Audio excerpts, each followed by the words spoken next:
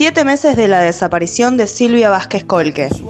Un mes más desde aquel 4 de junio en que Silvia estuvo por última vez con sus hijas. Conversó con sus vecinas, atendió su negocio, le mandó mensajes a su hermana, estuvo con su mamá. Siete meses, cero avances en la investigación. Ningún imputado, ninguna pista firme. La última actuación judicial de la que se tienen noticias es el allanamiento en la casa de Silvia el pasado 29 de noviembre, casi seis meses después de su desaparición. Casi seis meses después de su desaparición. Desde hace más de un mes, el expediente no se mueve. Algo no está bien. La justicia clasista y patriarcal está funcionando fiel a sí misma.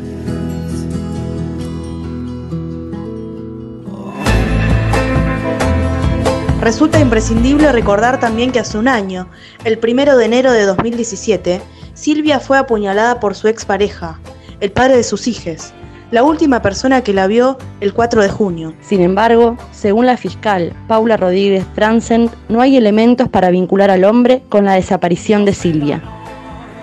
Seguiremos alzando nuestras voces incansablemente hasta que Silvia aparezca. Seguiremos alzando nuestras voces incansablemente hasta que Silvia aparezca. Seguiremos alzando nuestras voces incansablemente hasta que Silvia aparezca. Seguiremos demandando al Consejo Provincial de la Mujer no haberla contenido y acompañado. Seguiremos señalando al Poder Judicial que dejó en libertad al hombre que intentó asesinarla a puñaladas y miró para otro lado mientras violaba la restricción de acercamiento al hogar. Silvia, no solo a tu hermana y a tus hijas les haces falta, nos faltas a todas. Y tu ausencia nos recuerda que la construcción de una sociedad igualitaria donde podamos vivir libres y sin miedo es urgente. No estamos todas. No estamos todas. No estamos todas. Y cuando te busco no hay sitio en donde no estés.